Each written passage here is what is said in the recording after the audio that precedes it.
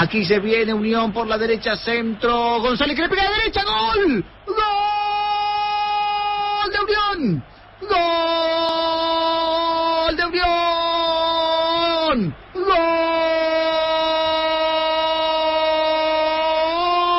de Unión. Gastón González. Gol de Unión. El pipa, el pipa, el pipa, el pipa. El pipa González con la pierna derecha sacó un remate violento después de la buena jugada de Unión por la derecha.